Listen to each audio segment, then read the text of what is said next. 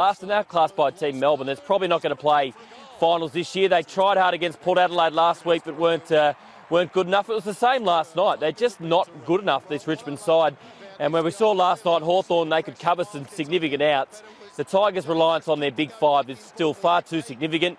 And last night, two of those were out in Alex Rance and uh, Trent Cotchin. So maybe last year when Richmond won 15 games, that was uh, the peak of this group. And now they really need to, to go back, start a little bit of a mini rebuild and uh, try and, and, build and try and get up there again. Because at the moment, on current form, uh, this team just doesn't seem good enough to compete with the best teams in the competition.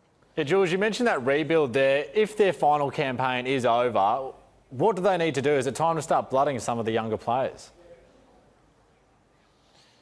Well, in fairness to Damien Hardwick, he's already been doing that this year, and I think he's doing the right thing. He realised if you keep getting into elimination finals with the same group and losing, I mean, you're not going to get any further. So he's, he's half been forced to do that with some of the injuries this year. So we've seen Corey Ellis, we've seen Castagna, we've seen uh, Daniel Rioli playing, Jayden Short, and all those guys were in action uh, last night. There's some other players on the list that he needs to have a look at. Ben Lennon was a high draft pick, hasn't played that many games. It was good to see uh, Vlastuin playing in the middle last night. Liam McBean's been on the list uh, for quite some time. So I think it's a good chance for the rest of the year to have a a good look at the Richmond list.